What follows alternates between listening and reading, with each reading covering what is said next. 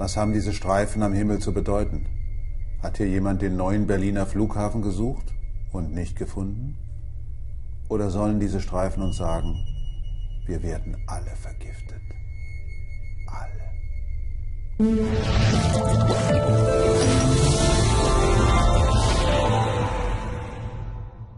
Ja, sind das jetzt Chemtrails oder nicht? Da sprüht doch irgendjemand was in die Luft, das sieht man doch. Das ist doch kein Zufall, sowas. Das entsteht doch irgendwie. Ich sehe es doch hier auf der Erde, wo überall was reingespritzt wird, überall. Diese Streifen hier am Himmel, die kommen doch nicht von ungefähr.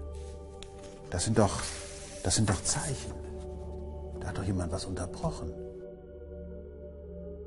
Das will uns doch was sagen. Und wenn alles ganz schlimm kommt und die ganze Welt am Ende von solchen Fliegern überflogen wird, überall, wenn es überhaupt keinen Ausweg mehr gibt, auf der ganzen Welt nur noch die Streifen am Himmel zu sehen sind, dann, ja dann, ja weiß ich auch nicht so genau. Das sind ja die Leute, die glauben da fest daran, dass die Streifen am Himmel eben nicht Kondensstreifen von Flugzeugen sind, sondern dass es sich dabei um eine riesengroße Verschwörung handelt, die uns entweder komplett alle verrückt machen soll oder uns alle umbringen soll oder aber das Klima ein für alle Mal verändern soll, dass also große Erdingenieure daran sind, mit Hilfe dieser Flugzeuge genau das zu tun, was eben hier unten in unserer unmittelbaren Umgebung Flugzeuge tun, wenn sie über die Felder oder über die, über die Weinreben äh, fliegen und dort irgendwas wegsprühen.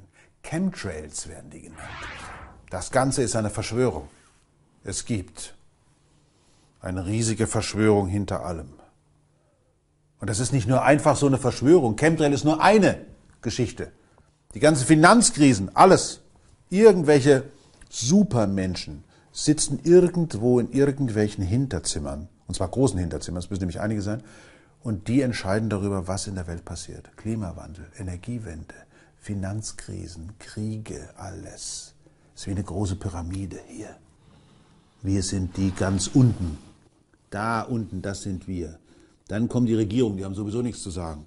Dann kommen da drüber die Banken, nee, die Lobbyisten, die sagen den Regierungen schon, wo es lang geht. Dann sagen die Banken den Lobbyisten, wo es lang geht. Dann gibt es die Zentralbanken, dann gibt es die Geheimorganisationen und über allem oben drüber die Gruppe derjenigen, die auch noch geheimer sind als die geheimsten Geheimorganisationen und die sagen dann und die entscheiden darüber, wie die Welt werden wird.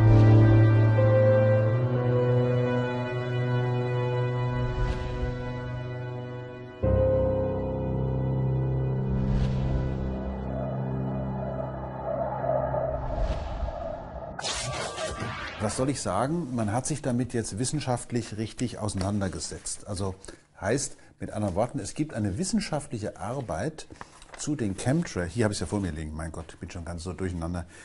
Und der, die sind, ist erschienen im Environmental Research Letter.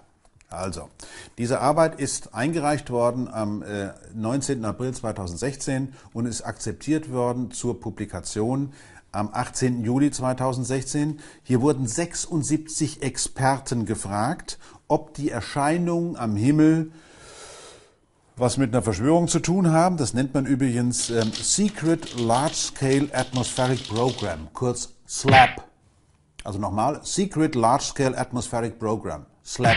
Also ob es SLAP gibt oder ob es nicht vielleicht einfach nur eine normale, mit Anführungsstrichen, natürliche Erklärung gibt. Und dann stellt man eben fest, die Erklärungen sind ganz einfach. Ob es dort oben Kondensstreifen von Flugzeugen gibt, hängt ab von A, der Feuchtesättigung, also ist die Luft voll mit Wasserdampf oder hat sie noch Platz, also ist sie übersättigt, dann breiten sich die Kondensationsstreifen weit aus, können bis zu einem Tag da oben den ganzen Himmel bedecken und ist sie untersättigt, dann sind zwei Drittel aller Kondensstreifen gleich wieder weg. Was soll ich Ihnen sagen? Naja, also natürlich meistens untersättigt. Warum? Weil die Flugzeuge so hoch fliegen, dort ist es trocken und so weiter. Also da ist noch Platz für den Wasserdampf. Dann zweitens die Höhe, das habe ich schon. Also wir haben die Feuchtesättigung, die Höhe, dann die Außentemperatur. Also da oben ist es ja kalt, aber dann kommt es auch an, mit welcher Temperatur denn diese ähm, Treibstoffüberreste ja, abge, abgestrahlt werden, also hinten rauskommen. Es gibt also auf die Temperatur der Abgase an und die Temperatur drumherum. Dann kommt es an, welche Rußpartikel werden da rausgeschickt, denn um die Rußpartikel herum kristallisieren, kondensieren diese Wassermoleküle aus. Sind die Rußpartikel klein, sind sie groß, also ist die Verbrennung des Motors gut oder schlecht, was wiederum bedeutet, dass die Parameter auch von den einzelnen Triebwerken abhängig sind und so weiter. Es reicht meine eine Hand schon nicht mehr aus. Dann geht es also darum, wie kristallisiert an der Größe der Rußpartikel das, der Wasserdampf aus. Zweitens die Dynamik vor Ort, also da, wo das Flugzeug fliegt, gibt es ja nicht nur das Flugzeug, sondern es gibt ja auch die Luft, die bewegt sich. Und zwar gibt es diese Luft, die kann sich bewegen durch Konvektions, also Strömung von unten nach oben, also Aufwinde. Es kann, die, ähm, die Luftbewegung kann, hat aber auch was damit zu tun, wie sie beleuchtet wird. Also ist die Sonne da oder nicht da, sind wir am Tag oder am Nacht. Ähm, was haben wir noch? Und die globale Wetterlage und so weiter und so weiter. Es also, also es gibt eine Unmenge von Parametern, die darüber entscheiden, was für ein Phänomen am Himmel entsteht. So. Das reicht aber den Chemtrail-Leuten nicht aus. Nee. Warum glaubt denn der Mensch, dass hinter den Ereignissen, die ihn umgeben, es irgendwelche aktiven Akteure geben muss. Und da bin ich auf Folgendes gestoßen, auf das Hyper-Agency Detection.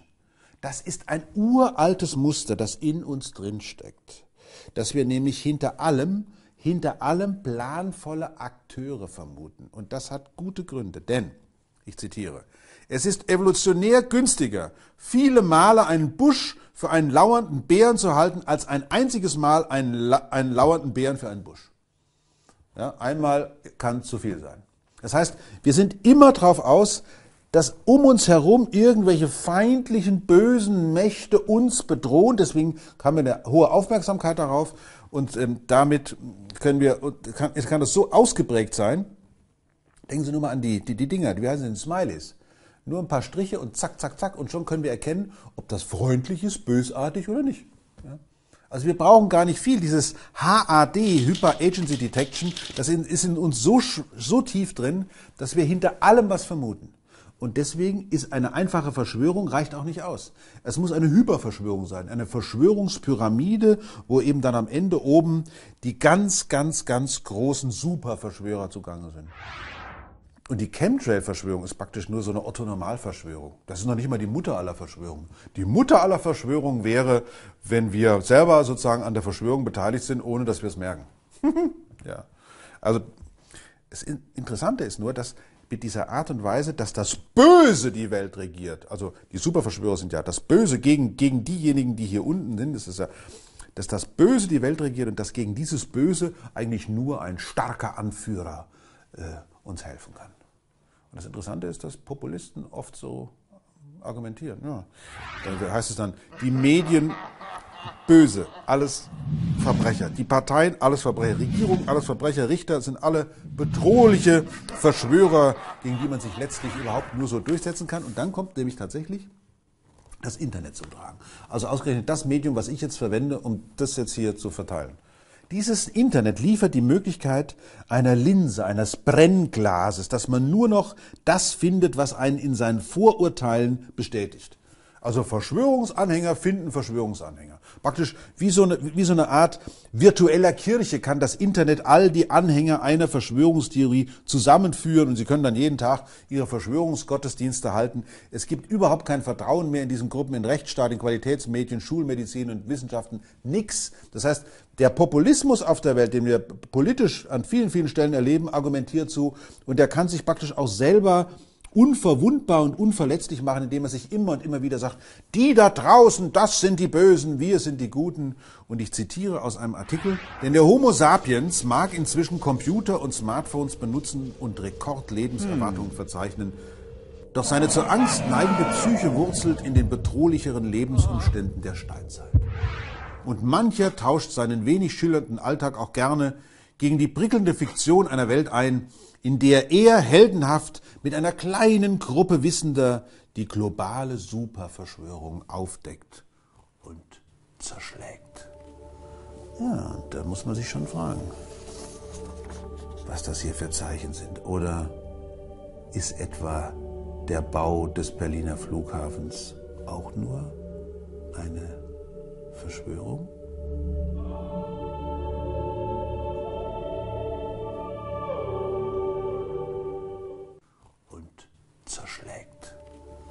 Ja, da muss man sich schon fragen, was das hier für Zeichen sind. Oder ist etwa der Bau des Berliner Flughafens auch nur eine Verschwörung?